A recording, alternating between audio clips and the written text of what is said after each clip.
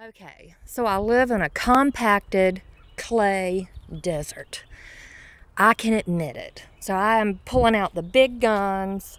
This is coconut coir. I got it from the internet. And look at this. This is what I'm, um, gosh, it's already soaked up all that water. This is a, tra not a huge trash can, but I put one block in there and I've been putting water in there Look, it is really soaking this stuff up. I'm gonna probably have a whole garbage can full of stuff. I'm, mm, this year may be different. Coconut coir, I think we're gonna get along just fine. Let me get back to work.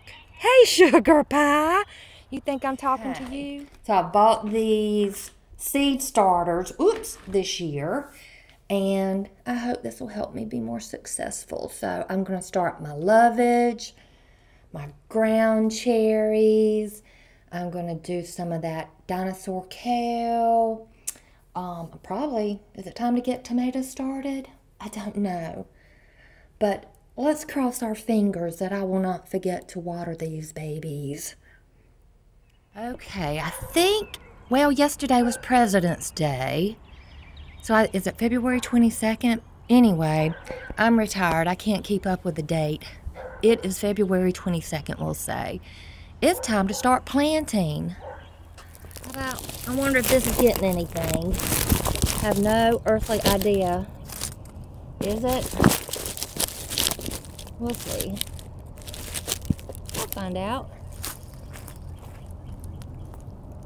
Kale harvest time. It doesn't look like you're getting any of me. Hmm. Maybe like that, just a little. Okay. Look at all this gorgeous kale. Finally, I've got something to show and tell.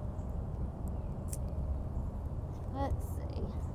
Look, this is going to make a pretty good little meal today. Oh gosh. Yeah, look at those pretty leaves. I don't even water this one. This one's growing all by itself. That's what I want. I want everything to do that. Look at that beautifulness. I finally harvested some of my greens. I've got a little mustard, African basil, red Russian kale, and there's some arugula. Oh, spinach and some arugula. This is going to be unbelievably deliciously yum.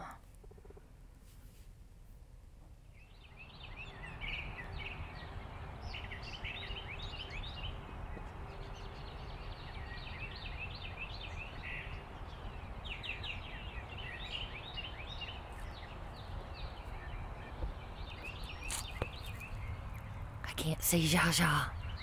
Hey girl, listen to all those birds. Life is good. it's asparagus harvest time. The day has finally arrived. I'm so tickled. These were the um Pia Precourse, I don't know, Argentile asparagus. And look at this Mac Daddy one. Let's see. This one comes up to about above the knee. That's an above the knee one. So I'm gonna snap it right here. Oh, okay. That's gonna be hit, um, let's see. Look at it. I might just eat the top part. Make sure there's no bugs in it. Let me pull my glasses down. Whoops.